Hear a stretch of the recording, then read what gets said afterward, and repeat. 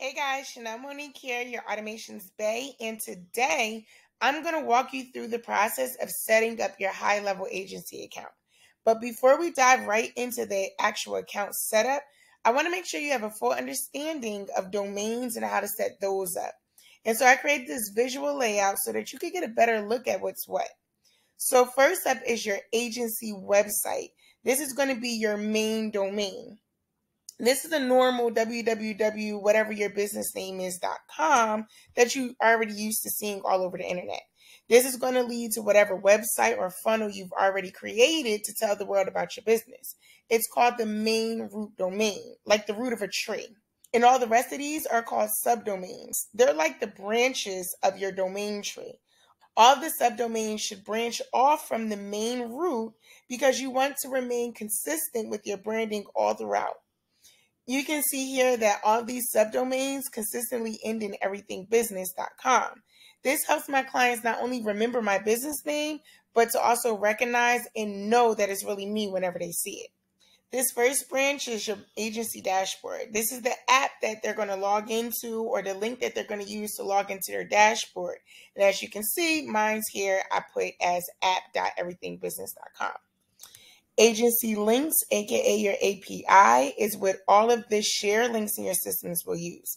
Meaning any link that you want to share to somebody, like a calendar form or survey links that you haven't already connected to your domain, is going to automatically default to this right here. So if you haven't connected it or named like bought a domain for that calendar, for that survey, for that form, then when you go to share it, it's automatically going to connect to whatever you name this one right here. Um, I named it link the everythingbusiness.com, but you can name it whatever you want. You can name it your mama at everythingbusiness.com or your mama at whatever your business name is.com. That's all up to you. You can name any of these whatever you want. I'm just showing you an example of what I do and what I name them when I go to set up my clients' agency accounts. Now, the next one is going to be your agency sending domain. This is not an email address. This is what's going to be sent out anytime a user gets their login credentials, or maybe when they forget their login credentials. This is what they're going to receive. This is the sending domain that the emails are going to be sent from. Now it's the same thing for the sub account sending domain. And this is your agency sub account that you manage all of your business. And this needs to be different from the subdomain of your main root domain because this is more of a marketing burner domain type of thing. Like it's like a burner account, right? This is what you're going to use to do all your marketing from. And the reason why I'm calling it a burner account because things happen. People block it, people report it as spam, whatever happens. Um, sometimes these domains get burnt, like they get burnt, they get blacklisted. And if you use this same domain um as the one as you as this one as your agency sending domain if these two are the same then and one of them gets burnt then it's a high chance that when somebody goes to sign up for something they won't get the login in, information or when they reset their password they won't never receive the emails because the account has been um because that domain has been blacklisted or it's been burnt so we want to make the agency sending domain and your sub account sending domain completely separate. You're going to keep the branding, but the part in front of it, you're going to make that different. It's not going to be info info or admin admin or contact contact. You're going to make these two completely different. Um, some people use info, like you see me use info. Some people use contact. Again, use whatever you want, whatever your little heart desires. But I do suggest keeping everything short. Keep it short and keep it simple. Short and simple. Short and sweet. Whatever you want to say. Next is the um, sub account membership area. Now, high level calls there is the university. You'll see university at gohighlevel.com. Honestly, I just kept it the same as theirs. This is probably the longest one I've ever used, um, but you can change it to be whatever it is that you want to do. And last but not least is the email address. We are going to create a professional email address because we need a way for our people, our clients, or even our team to be able to contact us and also for us to be able to log into this agency account or into our sub account, right? So we are going to create a, a professional email. We're going to do all of that in the next slide. Um, but again, I just wanted you guys to really sit here and think about these things because it's a lot easier if you go through and you think about it and you map it out now and you set it up properly the first time versus you just winging it and having to go back and fix it later. Because a lot of times that's when things get broken because you went back to fix it, but it's already been connected or set up to different things. And sometimes you forget what you connected it to or that you did certain things. So I have a saying, if you know me, you know, I always say the wise do in the beginning with the fools do at the end. Go through, map this out, set it up the first time, and you'll never have to do it a second time. So I personally use GoDaddy, but whatever um, website hosting site that you use is going to be a similar process.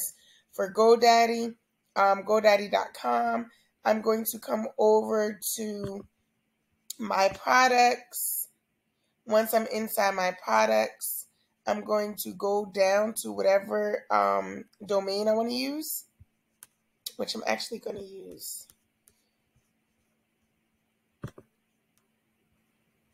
Here it is. I'm going to use this one, and I'm going to go to Manage DNS. Once I'm in here, underneath DNS records, these are the two you're going to worry about. You're going to worry about A, and you're going to worry about CNAME www, not CNAME underscore domain connect. You're going to use CNAME www. So now you're going to go back to your platform, and you're going to add new domain.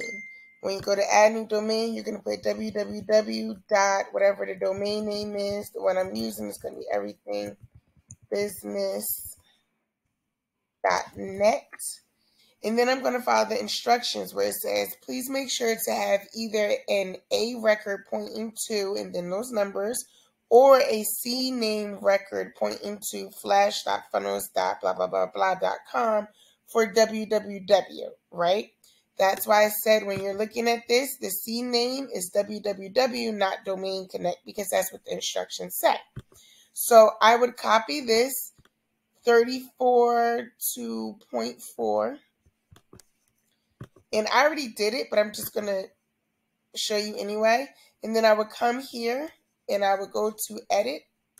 And then right here where the value is, that's where you're going to plug in the 34.68.234.4, right? And then you're going to hit save, which again, I already had it, but I just wanted you to be able to see it. And then when you go down to, we're going to actually go back to our platform and you're going to highlight flash.funnels, this whole thing.com. And once you highlight it and copy it, then you're going to come here and do the same thing. Hit edit and place it right here. This would most likely have said park. And where it says park, you're going to replace it by putting this here. Exactly like how I did. You're going to save it and then you're going to come back here and you're going to hit add. And then it's going to say, yay, domain www dot whatever your business name is dot whatever added successfully. And that's how you add a domain. Then you can come here and select what funnel you want the domain to go to. Or you can do it inside. So you can select it here. Let's say I'm just going to put it to one. Um, and you select the funnel type, the funnel step. I'm going to put offer page, and I'm going to hit link domain just so that you guys could actually see it. So now we're going to come out of settings, go back to sites, go to, I think, where did I put that? Oh, yeah. that ADHD kicked in real quick. I lost track. And this is where that domain is being um, sent to.